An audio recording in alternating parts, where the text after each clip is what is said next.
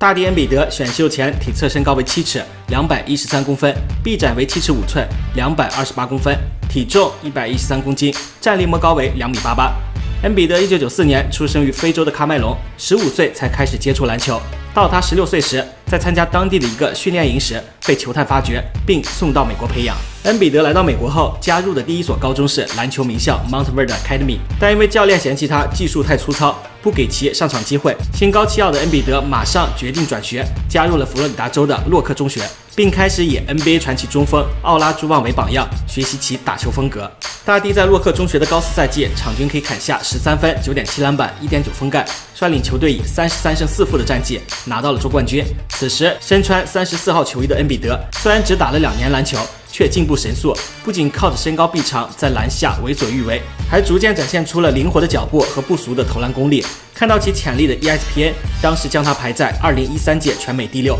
并授予他五星的评级。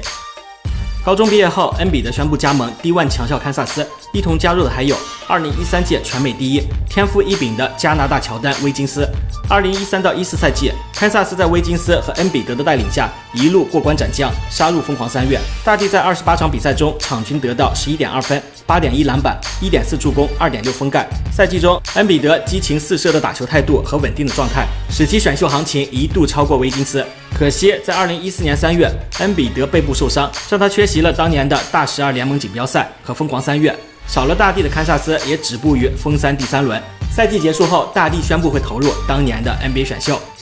选秀网站当时为恩比德体型和潜力打十分，运动能力和防守打九分，对抗、速度、投篮、篮板和背身打八分，领导力和集战力则为七分。网站认为，恩比德哪怕进入 NBA 后，身材都极具优势。同时还拥有灵活的脚步和柔和的手感，更可怕的是他每天都在进步，潜力无限。至于劣势方面，网站也很直接的指出，恩比德大学不仅缺席了较多的比赛，而且场均出场时间也偏低，将他的背部从高中到大学多次受伤，抗伤病能力有待观察。可哪怕是这样，依然给出了一个可怕的模板：邓肯和奥拉朱旺。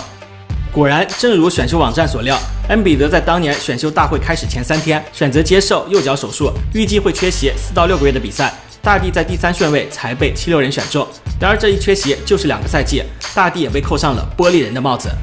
二零一六到一七赛季缺席了两个赛季的恩比德终于回归了赛场，首秀就砍下了二十分、七篮板、两封盖，让人为之惊艳。而在几天后对阵魔术的比赛中，他又拿到了生涯首个两双，十八分、十篮板。虽然这个赛季恩比德还是只打了三十一场比赛就受伤，赛季报销，但他还是以场均二十分、七点八篮板、二点五封盖的数据入选了新秀第一队。在接下来的几个赛季中，大帝恩比德和西蒂西蒙斯组成了双帝组合，带领七六人走上了复兴之路，成为了东区强队之一。而摆脱玻璃人属性的大帝，场均数据每年都有提升，上赛季更是以场均二十八点五分、十篮板、二点八助攻的表现，在常规赛最有价值球员的排行榜上位列第二。